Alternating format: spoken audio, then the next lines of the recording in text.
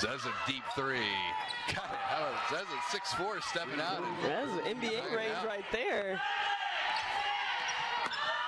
Matt's lost the handle. Another turnover.